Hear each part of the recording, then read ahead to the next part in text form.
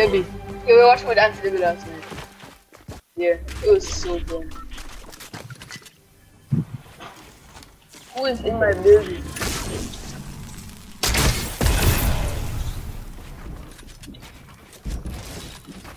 Bro.